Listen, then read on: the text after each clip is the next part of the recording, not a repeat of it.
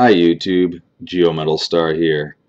I thought I'd share some of my thoughts on the new documentary Cosmos, A Space-Time Odyssey, hosted by Neil deGrasse Tyson.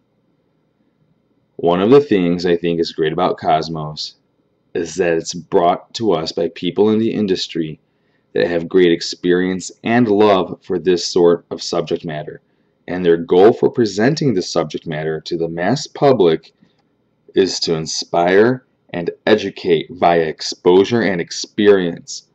Cosmos is brought to us by executive producer Ann Druyan, who incidentally was Carl Sagan's spouse and was intimately involved with the original Cosmos, making this reboot a spiritual sibling to the original because, in a way, they have the same mother. On a side note, the story to Jodie Foster's sci-fi movie Contact was written by both Druyan and Sagan. If you haven't seen it, check it out. It's a great flick. It's really deep and philosophical. It's pretty cool. Alright. Seth MacFarlane. We all know him as the creator of Family Guy and the co-creator of American Dad and The Cleveland Show. And not to mention the infamous uh, movie Ted, which he co-produced and co-wrote.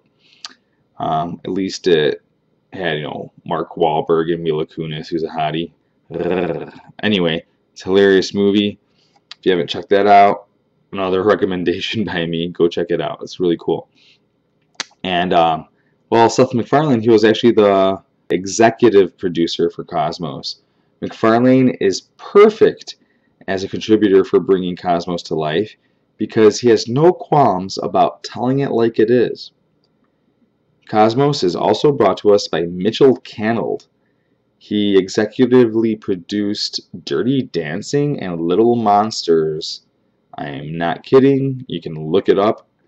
I don't know what else that guy's done since then besides Cosmos because those movies are really old. Anyway, uh, Brannon Braga.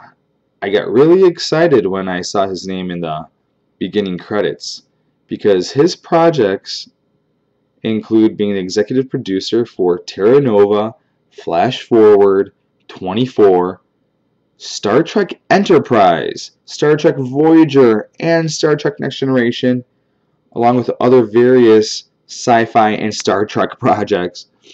Uh, we also have the co-executive producer Jason Clark, who worked on Ted with MacFarlane, but also did things like Stuart Little and Monster House. And of course, a documentary of this scope needs a great host and narrator, and we've got one. Neil deGrasse Tyson. You know, from television. Yeah, uh, of course. Very nice to meet you. No, the pleasure's mine. Yes, Neil deGrasse Tyson. He is passionate about science education, and it shows as he hosts the show. I don't want to spoil the show, but early on Neil mentions that the reality of nature can be more wondrous than imagination, and that what we know has been brought to us by a simple set of rules. Test ideas by experimentation and observation. Build on ideas that pass the test. Reject the failures. Follow the evidence wherever it leads. And of course, question everything. Which I pretty much uh, think translates to no blind faith. Yeah, okay. Anyway, accept these terms and the cosmos is yours. With that said, I'm excited for episode number two and I can't wait to see where the series takes us. The winning combination of Neil deGrasse Tyson's persona and the awesome writing, animation, and visual effects brought to us by the production team I mentioned earlier will make Cosmos a space-time odyssey an instant classic for anyone with a willingness to simply not be ignorant to the universe that surrounds us. On that note, thank you. Have a great night.